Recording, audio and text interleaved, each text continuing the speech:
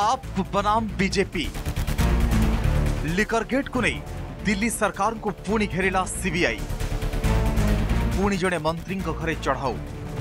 दिल्ली उपमुख्यमंत्री तथा आम आदमी पार्टी वरिष्ठ नेता मनीष सिसोदिया घरे सीबीआई रेड।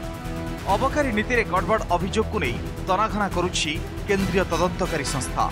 मोबाइल लैपटॉप जबत होता बेले आप ସକାଳ ସାଢ଼େ ଆଠଟାରେ ସିବିଆଇ ସିସୋଦିଆଙ୍କ ଘରେ ଚଢ଼ାଉ କରିଛି ଦିଲ୍ଲୀ ଏନ୍ସିଆର୍ ସମେତ ସାତ ରାଜ୍ୟର ଏକୋଇଶଟି ସ୍ପଟ୍ରେ ଚଢ଼ାଉ କରିଛି ସିବିଆଇ ତା ପରଠାରୁ ବିଜେପି ଆପ୍ ଭିତରେ ପାକ୍ ଯୁଦ୍ଧ ଆରମ୍ଭ ହୋଇଯାଇଛି ସିବିଆଇର ଏଭଳି କାର୍ଯ୍ୟାନୁଷ୍ଠାନକୁ ସ୍ୱାଗତ କରିଛନ୍ତି ସିସୋଦିଆ ଏଥିସହିତ କେନ୍ଦ୍ର ସରକାରଙ୍କୁ ଟାର୍ଗେଟ୍ କରିଛନ୍ତି ଯିଏ ଭଲ କାମ କରେ ତା ବିରୋଧରେ ଷଡ଼ଯନ୍ତ୍ର ହୁଏ ଏଥିପାଇଁ ଆମ ଦେଶ ଏକ ନମ୍ବର ହୋଇପାରୁନାହିଁ ବୋଲି କହିଛନ୍ତି ମନୀଷ ଦିଲ୍ଲୀରେ ଶିକ୍ଷା ଏବଂ ସ୍ୱାସ୍ଥ୍ୟ ମଡେଲ୍ ଦେଶର ସବୁଠୁ ଭଲ ବୋଲି କହିଛନ୍ତି ଆପ୍ ନେତା ଏହାକୁ ରୋକିବା ପାଇଁ ବିଜେପି ବଡ଼ ଷଡ଼ଯନ୍ତ୍ର କରୁଛି ଚଢ଼ାଉ ବେଳେ ସିସୋଦିଆଙ୍କ ଘରୁ କିଛି ମିଳିବ ନାହିଁ ବରଂ ପେନ୍ସିଲ ଏବଂ ଜ୍ୟାମିତି ବାକ୍ସ ମିଳିବ ବୋଲି ଆପ୍ ନେତା କହିଛନ୍ତି सीबीआई का छापा, ईडी का छापा, कई बार हम लोगों के ऊपर छापे पड़ चुके।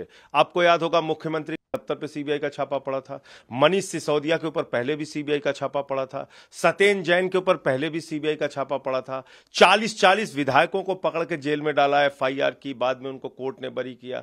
तो ये सुंगलू कमेटी एक बनाई थी 400 फाइलों की जाँच कराई। बाद में कह दिया कहीं कुछ नहीं निकला।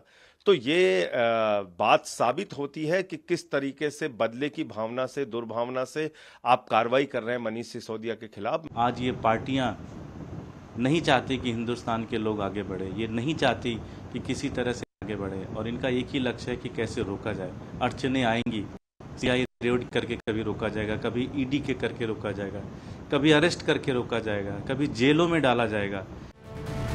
সিসোদিয়াঙ্ সহিত অন্য চারিজণক নাঁরে মধ্য মামলা রুজু হয়েছে এ আধারে পূর্বতন দিল্লি অবকারী কমিশনর এ গোপাল কৃষ্ণাঙ্কর বাসভবনরে মধ্য সিবিআই রেড হয়েছে বিজেপির অভিযোগ মদ লাইসেন্সধারী কমিশন বৃদ্ধি করা বেড়ে শহে চৌরাশ কোটি টঙ্কা ছাড় করেছেন পঞ্জাব নির্বাচন পূর্বর মদমাফিয়া খুশি করা পলিসি তৈরি করে দিল্লি সরকার দুইশ পচাশ রু আঠশহ মদ দোকান সংখ্যা বড়াই বলে অভিযোগ করেছে বিজেপি जिस एक्साइज पॉलिसी के कारण हमारे जो नौजवान हैं, वो विकास की जगह विनाश की ओर बढ़ेंगे, परिवार बर्बाद होंगे, हमारी माताएँ, बहनें, उनके जीवन जो है वो बर्बादी की ओर बढ़ जाएँगे।